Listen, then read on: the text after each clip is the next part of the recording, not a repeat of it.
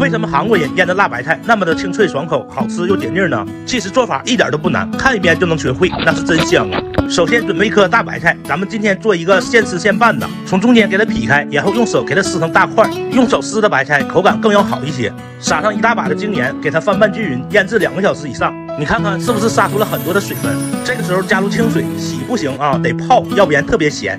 把这个盐分给它泡淡之后，装干水分。准备一把韭菜，给它切成小段；圆葱切成细丝。再准备三个小白梨，给它切成厚一点的片。家人们，咱们这个大白菜哈，用盐卤完之后了，得泡，不能洗，光洗不行，洗不掉它的盐分。你给它泡淡，这样吃的不会很咸。每天都用心教做菜，有的话就给胖点评点呗。小胖祝大家身体健康，万事如意。把所有的配料咱们给它放在白菜里，加一袋这个调制好的辣白菜调味酱，其他的什么调料都不需要放了。在家咱们可以做各种的高丽咸菜。十九块九两大包，真的很划算。用左手给它抓拌均匀，然后放在冰箱冷藏两个小时以后即可开吃，清脆又爽口，那是真香啊！喜欢的老铁赶紧做起来吧。